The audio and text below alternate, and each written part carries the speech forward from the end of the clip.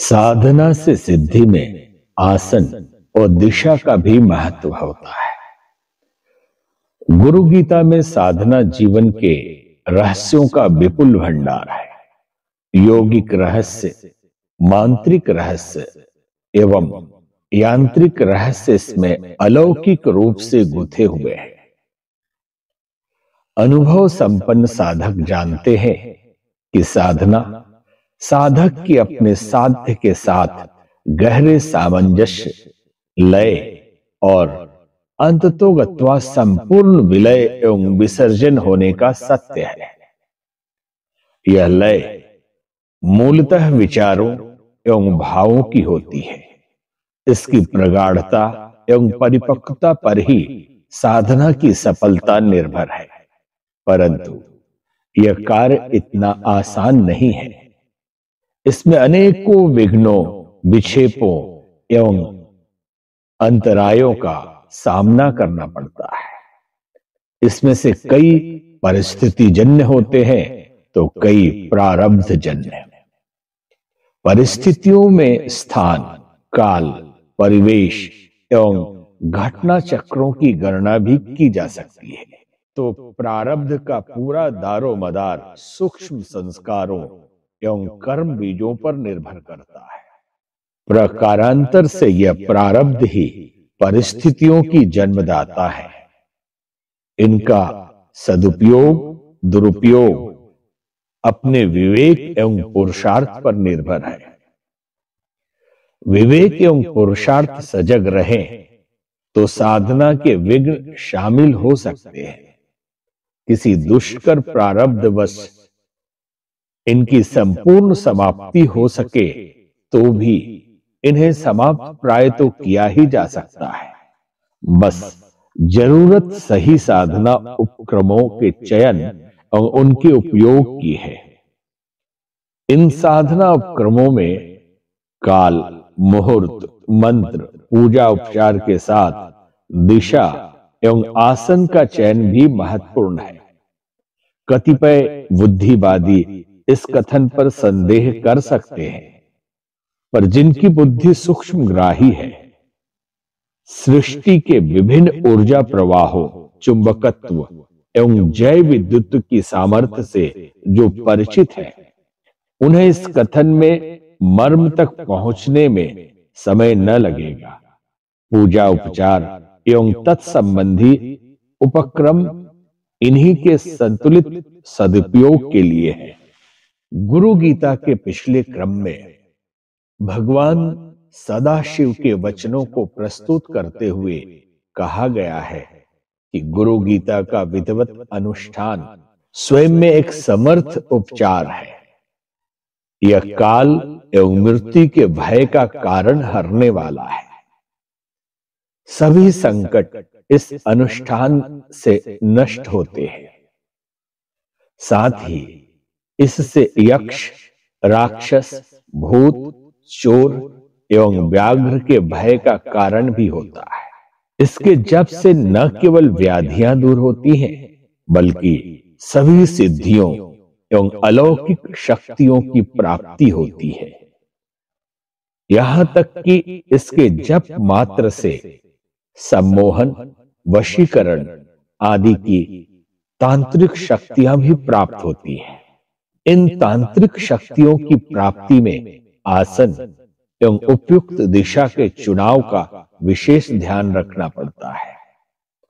भगवान सदाशिव इस सत्य को चेताते हुए माता भवानी से कहते हैं वस्त्रासने च दारिद्र्यम पाषाणे रोग संभव। मेदिन्याम दुख मापनोति काष्टे भवति निष्फलम। कृष्णा जिने ज्ञान सिद्धि मोक्ष श्री व्याघ्र चरमाणी कुशासने ज्ञान सिद्धि सर्व सिद्धि स्तु कंबले कुशर्वा दुर्व्या देवी आसने शुभ कंबले उपविश्ये ततो देवी जपे देकाग्र मानस ध्येयम शुक्लम च शांत्यर्थम व्यसने रक्तासनम प्रिय अभिचारम कृष्ण वर्णम पीत वर्णम धनागमे। उत्तरे शांति कामस्तु, वैश्ये पूर्व मुखो जपे दक्षिणे मारणम प्रोक्तम, पश्चिमे च धनागम, अर्थात वस्त्रासन पर साधना करने से दरिद्रता आती है। पत्थर पर साधना करने से रोग होते हैं। धरती पर बैठकर साधना करने से दुख मिलता है और काष्ट आसन, अर्थात लकड़ी पर की गई साधना निष्फल होती है।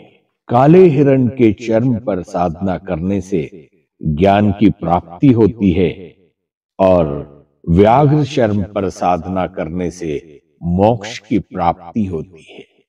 कुश के आसन पर साधना करने से ज्ञान सिद्ध होता है, जबकि कंबल पर बैठकर साधना करने से सर्व सिद्धियाँ मिलती है। भगवान शिव कहते हैं, हे देवी, इस गुरु गीता का स्वाध्याय कुश के आसन पर, दूब के आसन पर अथवा श्वेत कंबल के आसन पर बैठकर करना उचित है। शांति प्राप्ति के लिए श्वेत आसन पर, वशीकरण के लिए रक्त वर्ण के आसन पर, सम्मोहन के लिए काले आसन पर एवं धन प्राप्ति के लिए पीले आसन पर बैठकर साधना करनी चाहिए। इस क्रम में उत्तर दिशा शांति कार्यों के लिए पूर्व दिशा वशीकरण के लिए मारण कर्म के लिए दक्षिण दिशा एवं धन प्राप्ति के लिए पश्चिम दिशा उपयुक्त मानी गई है। गुरु गीता के इन मंत्रों की रहस्य वाणी उनके लिए अति उपयोगी है जो साधना विज्ञान पर विशेष अनुसंधान के उत्सुक है। इनकी वैज्ञानिकता को वे अपने प्रयोगों से चरितार्थ कर सकते हैं। इस संदर्भ में महाराष्ट्र के एक संत, वामन पंडित का प्रसंग बड़ा ही मर्मस्पर्शी है। वामन पंडित समर्थ रामदास के समकालीन थे। इनका जन्म वीजापुर में हुआ था एवं विद्या अध्ययन काशी में। काशी में रहते ही भगवान विश्वनाथ की कृपा से इनकी साधना रुचि तीव्र हुई। परंतु साधना की तीव्र इच्छा के बावजूद इनका संकल्प बार बार टूट जाता था। मन भी सदा अशांत रहता। समझ में नहीं आ रहा था कि क्या करें। कई बार तो ये अपनी स्थिति से इतना खिन्न हो जाते थे कि अंतस हताशा से भर जाता था। मन सोचता कि जो जीवन उद्देश्य प्राप्ति में निरर्थक है, उसे रखकर ही क्या करें? इस निराशा के कुहासे में कोई मार्ग नहीं सोचता था। जब तो करते, पर मन न लगता। साधना बार बार भंग हो जाती। इसलिए एक दो तो दिन में ही इनकी इतिश्री हो जाती। कुछ प्रारब्ध भी विपरीत था और कुछ निराशा का असर इनका शरीर भी रोगी रहने लगा। आखिर एक दिन इनका धैर्य विचलित हो गया और इन्होंने सोचा कि आज अपने आप को माँ गंगा में समर्पित कर देंगे। इस निश्चय के साथ ही वे गंगा के मणिकर्णिका घाट पर आ विराजे। बस अंधकार की प्रतीक्षा थी कि अंधेरा हो और चुपके से देह का विसर्जन कर दे। अपने इन चिंतन में डूबे वे भगवान से प्रार्थना कर रहे थे हे प्रभु मैं चाह कर भी इस देह से तप नहीं कर सका। हे प्रभु अगले जन्म में ऐसा शरीर देने की कृपा करना जो साधना करने में समर्थ हो। ऐसा मन देना हे मेरे स्वामी जिसकी वृत्तियाँ तप से विघ्नकारी न हो श्री वामन पंडित अपनी प्रार्थना के इन्हीं भावों में लीन थे। उनकी आँखों से निरंतर अश्रुपात हो रहा था। सूर्यास्त कब अंधेरे में बदल गया, उन्हें पता ही नहीं चला। उनको चेत तो तब आई जब एक वृद्ध सन्यासी ने उन्हें सचेत किया। उन सन्यासी महाराज के चेताने से इनकी आँखें खुली। आँखें खुलने पर इन्होंने देखा कि उन वयोवृद्ध सन्यासी का दाया हाथ इनके सिर पर था और वे कह रहे थे, धैर्य रखो वत्स, साधना में बाधाएँ आना स्वाभाविक है, परंतु तुम्हें परेशान होने की आवश्यकता नहीं है। मैं तुम्हें बीज मंत्र का उपदेश देता हूँ। इसका नियमित जप करो, परंतु यह जप तुम्हें कुश के आसन पर बैठकर उत्तर दिशा की ओर मुख करके करना होगा।